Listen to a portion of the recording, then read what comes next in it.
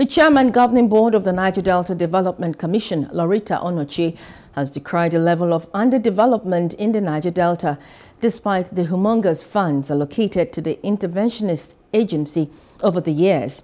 She said the NDDC was a shame to the region and the country at large, noting that monies earmarked for the development of the crude oil and gas-rich area were being frittered away to Abuja, Lagos and overseas, while the people of the region lived in squalor and abject poverty. It's not the directors alone that are going to support us, no. All of us here, we're going to march like soldiers. We're going to improve our work ethics, the way we work.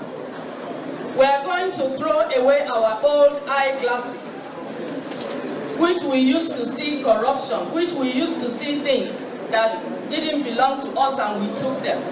We are going to buy new ones and bring forth integrity, equity, justice in this commission. Hello, hope you enjoyed the news. Please do subscribe to our YouTube channel and don't forget to hit the notification button so you get notified about fresh news updates.